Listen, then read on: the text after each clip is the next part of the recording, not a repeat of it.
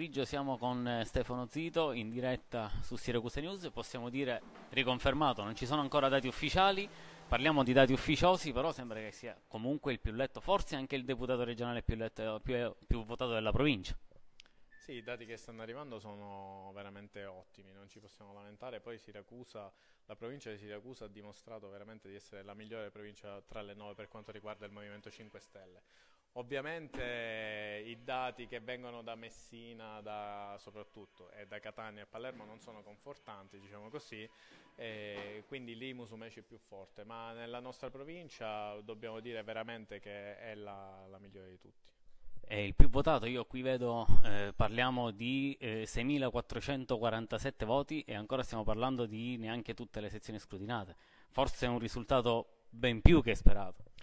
Queste sono parziali solo di Siracusa città, quindi manca ancora tutta la provincia. Ovviamente sì, il risultato è ottimo, penso che è stato, pagato, è stato ripagato l'impegno dei, dei, cinque anni precedenti, il fatto di, che comunque sia anche di essere un grillino anomalo, uno che non grida tanto ma cerca di lavorare moltissimo. Questa è una cosa importante deve fare capire che noi non siamo solo quelli che fanno rumore, solo quelli che appunto gridano, ma sappiamo ben lavorare e la gente ha, mi ha premiato, ma comunque sia, forse premierà anche un altro collega.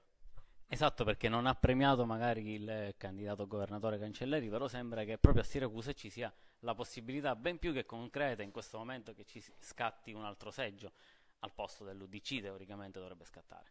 Beh, i dati che ci stanno arrivando sì, sono molto molto confortanti ovviamente.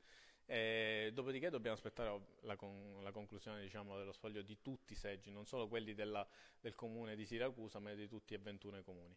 Quindi però da quello che sta arrivando noi come lista e anche le notizie delle altre liste, di liste che non superano il 5% a livello regionale o di liste che hanno valori bassi a livello provinciale ci fa ben sperare, molto ben sperare. Eh, infatti possiamo dire che forse quello che più eh, stupisce in questo momento è Alternativa Popolare con eh, Alfano che ad Agrigento prende una buona percentuale di voti, se non sbaglio siamo sull'8-9%, a Siracusa pure, ma per il resto della regione fatica parecchio e tant'è che dalle proiezioni sembra non possa superare il 4,5%.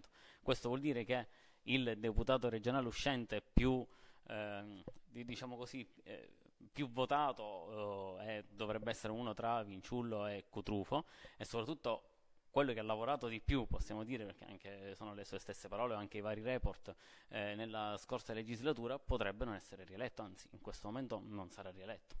Certo, intanto loro pagano proprio una cosa, eh, la colpa maggiore è avere dietro Angelino Alfano, cioè nel senso proprio lui con questa virata diciamo brusca da destra verso sinistra eh, avrà perso e ha, dopo aver perso anche molti dei suoi candidati forti che sono passati poi con Musumeci, eh, molti di voi forse se lo ricorderanno quello che è successo a, soprattutto da, uh, agosto, tra agosto e settembre. Quindi era ovvio che la lista era indebolita a livello, le liste a livello eh, regionale. A livello provinciale il risultato non è cattivo ovviamente, ma se non scatta il seggio a livello regionale il seggio non, non può scattare neanche a livello locale.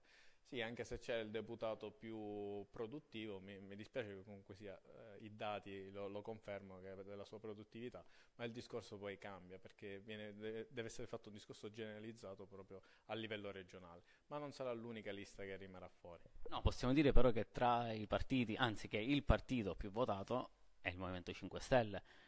Diciamo che forse non è più tripolare il, in questo momento il, il, la situazione a livello regionale, forse più bipolare con il 30% quasi diviso da tre, tre punti percentuali tra Musumeci e Cancelleri, molto più staccato anche di 10 punti sembrerebbe eh, Micari, quindi non è così facile forse, non sarà così facile forse per Musumeci governare, eh, a, meno che qualcuno dalla parte del centro-sinistra non decida di avvicinarsi al centro-destra e invece i progetti il, del Movimento 5 Stelle?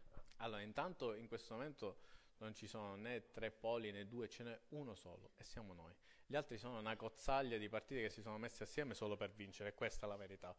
Però alla fine noi gli abbiamo dimostrato che col voto di opinione, con tanti sacrifici, dimostrando anche appunto che siamo persone che sappiamo lavorare, la gente ci ha apprezzato e ci ha votato.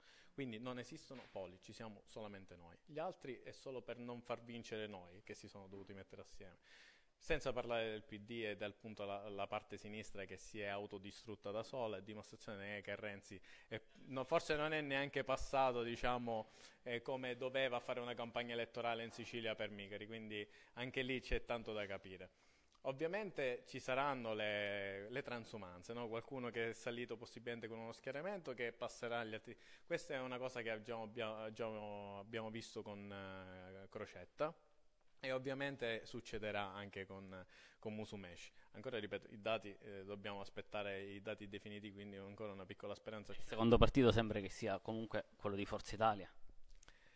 E quello di Forza Italia, uh, sì, ovviamente noi siamo andati secondo me molto meglio di Forza Italia e con persone nuove, persone giovani, anche lì eh, tutto si può dire tranne che il movimento non sia un, uh, un, movimento politico che investe sui giovani e questo già è importantissimo ed è un bellissimo segnale per quelle generazioni che qualora volessero fare politica non trovano mai spazio negli altri partiti.